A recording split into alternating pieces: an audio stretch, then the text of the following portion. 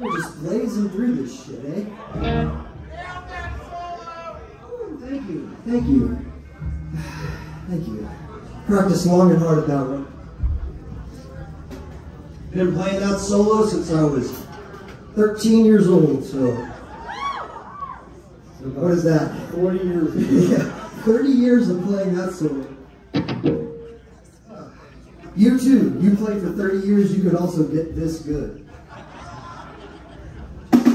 Yeah. Just keep just keep practicing, folks. And when you're 15 playing Nirvana covers, you You'll know you've you know you're good.